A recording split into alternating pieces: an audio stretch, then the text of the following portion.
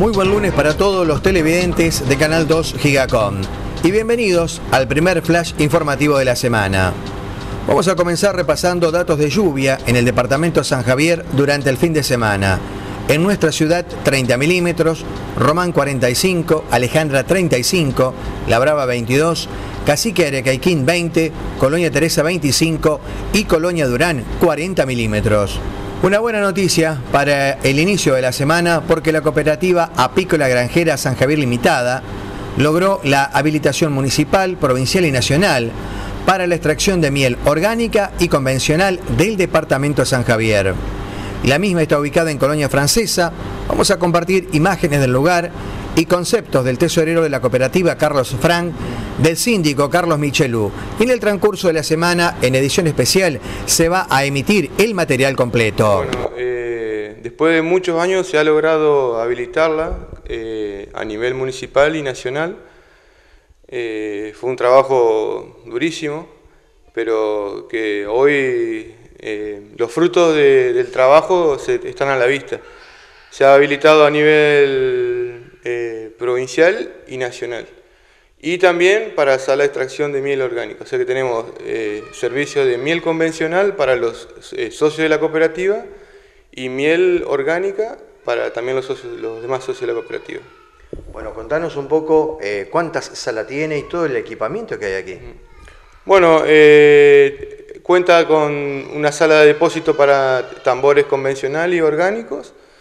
Y después tenemos la, parte de vestidores, baños. Y acá al lado tenemos la parte de la sala sucia, digamos, donde llega la materia prima, la miel en los panales. Y esta, esta parte es la sala de extracción de donde se procesa la miel y se extracta. Bueno, gracias a Dios este año nos perdonó, la temporada pasada fue terrible, fue un desastre, eh, perdimos muchas colmenas, 3.000 colmenas, como ya habíamos informado, eh, perdimos toda la producción, no, no, tuvimos producción. Y este año que en todas las provincias los promedios están en 10, 12 kilos, nosotros creo que vamos a redondear en 30 kilos. O sea, eh, la, expectativa, la expectativa eran mayores porque la isla, tanto el monte como la isla, la floración, y se mantiene una floración importante. Eh, lo que pasó que febrero llovió, donde es, una, eh, el mes que más acopio hace de miel, llovió todo febrero y la abeja no, no pudo trabajar.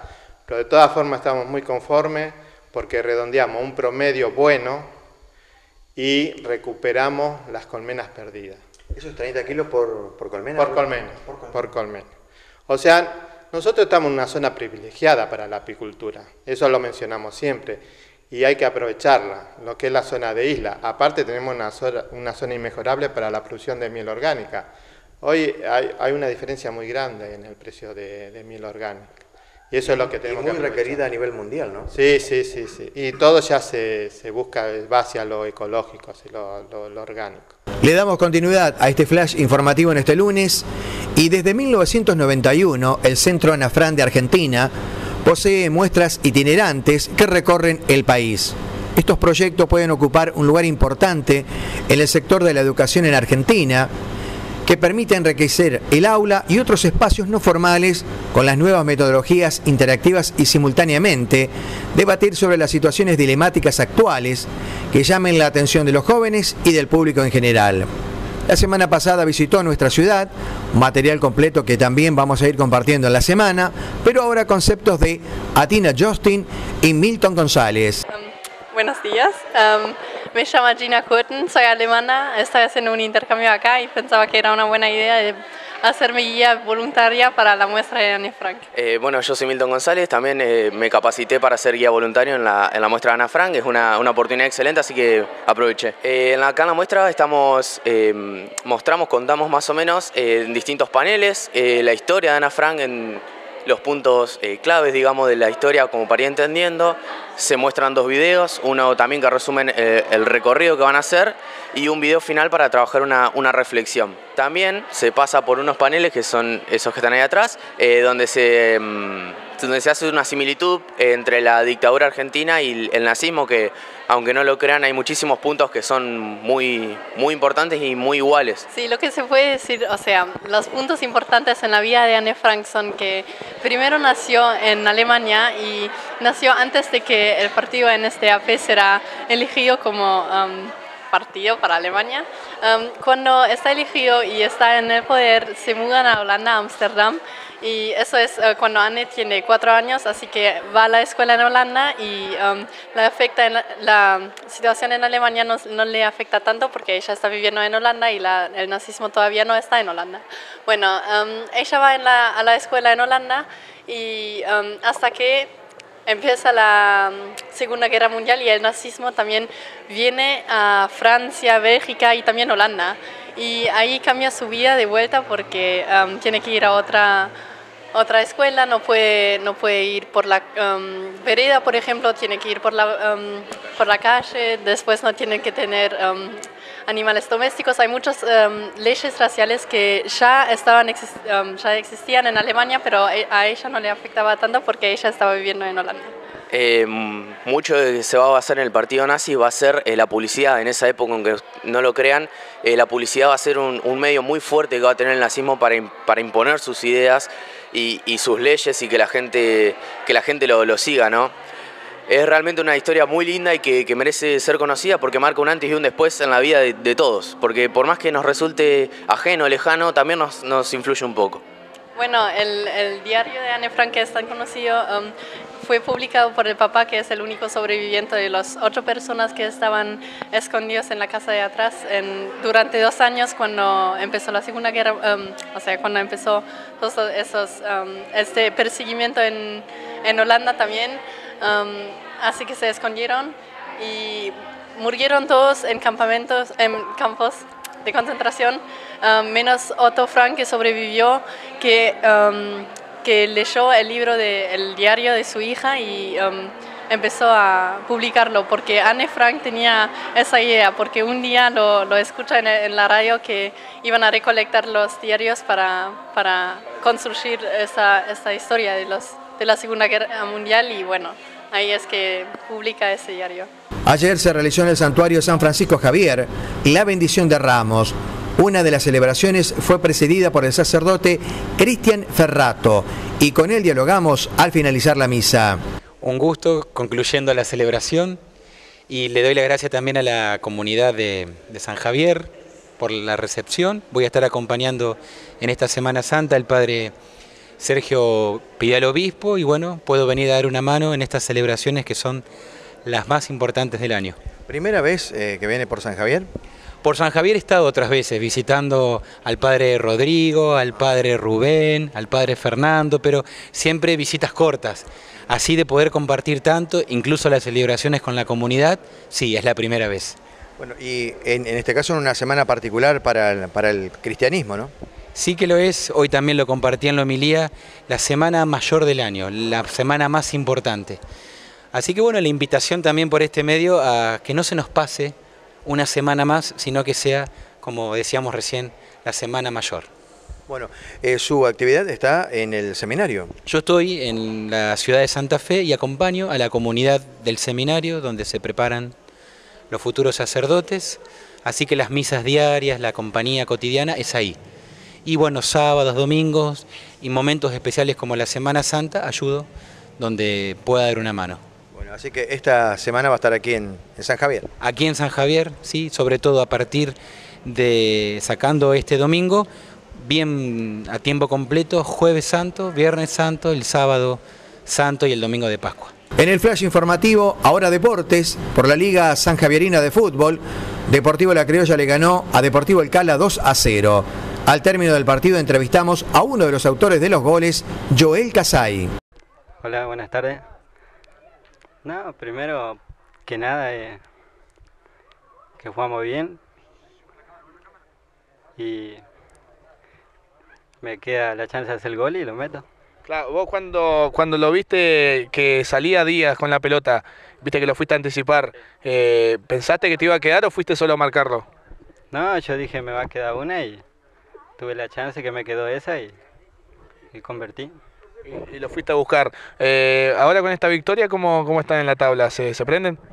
Sí, vamos, tenemos 12 puntos ahora. No sé cómo salió Juventud. Juega más tarde. Pero se prenden en la pelea. Sí. Así que bueno. Eh, bueno, muchas gracias. Un saludo antes de despedirte. Bueno, muchas gracias. ¿Un saludo para alguien? Para todo el equipo acá que, que están festejando. Un saludo para mi hija. Ah, bueno, ahí está. Por el torneo federal de básquetbol, Huracán ganó el cuarto partido playoff de la reclasificación. Superó a Central anoche 88-74. Vamos a compartir imágenes del juego y entrevista con los goleadores Walter Romero y Nicolás Zamudio. Bueno, Romero, ¿igualaron la serie? Sí, creo que era el objetivo cuando perdimos el primer partido, que creo que era al que fuimos a ganar. Eh, el objetivo era jugar el quinto, ¿no? Cuando perdimos el segundo nos propusimos jugar el quinto y, tirarle la presión a ellos, entre comillas, decirlo, porque creo que ahora vale todo, ¿no? En el buen sentido hablando. Así que nada, ahora pensar en el miércoles y disfrutar esto. Bueno, tremenda efectividad de tres hoy ustedes. La verdad que sí, como te dije recién, creo que, bueno, tiramos todo el día largo, creo que una noche se lo tenía que abrir, ¿no? Eh, por suerte entraron hoy y, bueno, vamos, esperemos que el, miércoles o el martes, no sé cuándo se juega, eh, podamos tener la misma efectividad de hoy. Bueno, ¿qué, es lo que le dijo al técnico para este, para este juego? No, el profe siempre la tranquilidad, la tranquilidad que necesitamos, ¿no? Por ahí los 12 somos los caballitos, caballitos locos que vamos al frente siempre. La tranquilidad que nos transmite el profe eh, creo que fue muy importante siempre, ¿no? Desde que llegó nos mantuvo fresco, eh, muy, mucha tranquilidad, mucha tranquilidad nos transmite. Creo que la verdad hoy se, se vio cuando sacamos la diferencia lo supimos, lo supimos cerrar bien como en los juegos anteriores no y por suerte se ganó. Bueno, ahora a descansar un poco más para el miércoles, ¿no? Ahora ¿Te va a dar un poco más de tiempo? Sí, para los viejitos hay que descansar y ya pensar en el miércoles y bueno, ojalá, ojalá podemos darle una alegría más a la gente. ¿Se lo querés dedicar a alguien? A mi familia, pero en especial a mi hija, que la amo con toda mi alma, a Jessie también, es la madre, es una gran mujer y, me apoya siempre en lo que hago, así que para ellas doy, obviamente, a, mis dos viejos y mis dos hermanos. Gracias, Romero. gracias a ustedes.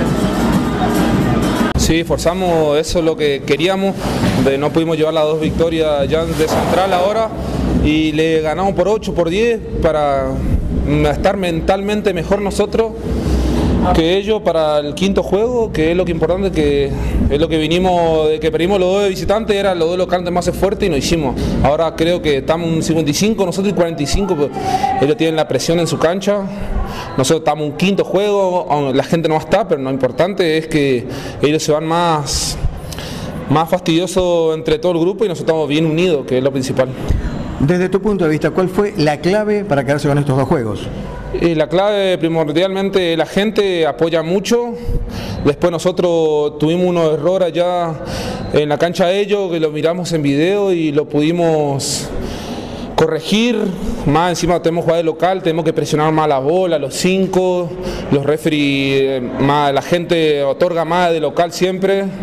Y eso fue la principal, eh, marcar presión y buscar jugar cómodo, como en la, en la planilla todos sumamos, eso es lo importante, no sirve nada de que haga 20 y lo perdemos, el que está bien parado lo va a tomar, el que junta dos va a tomar tiro, que es lo principal, que es para pasar. ¿Esa zona 2-3 que le hizo Central le facilitó a ustedes hoy el tiro de dos? ¿De, de tres? Y la verdad que sí, el primer momento, el partido de ayer nos complicaba en esa zona, era obvio que hoy iban a venir con esa zona y lo supimos aprovechar de tres a los jugadores de que la toman decisiones en tiro de tres, que es Pato y Nahuel y lo supimos aprovechar bien a ellos, que estaban parados juntados para descargar a ellos, que es lo importante. Por último, ¿se lo querés dedicar a alguien? No, a toda la gente, que vamos a hacer lo posible el miércoles o el martes, no sé cuándo juguemos eh, llevarnos la victoria, que es lo que más queremos todo el grupo, me imagino la gente y los dirigentes, que vamos a hacer lo posible y va a ser un partido cerrado. No, ojalá que lo podamos ganar más tranquilo, pero va a ser un partido cerradísimo, que eso es, los cinco clásicos se vio, en los cuatro clásicos se vio eso, y así vamos a hacer lo más que podamos y vamos a llevar la victoria. Muchas gracias. ¿eh? Dale, muchas gracias. De esta manera llegamos al final del primer flash informativo de esta semana. Los invitamos a continuar en sintonía de Canal 2 Gigacom y si Dios quiere, hasta un próximo encuentro.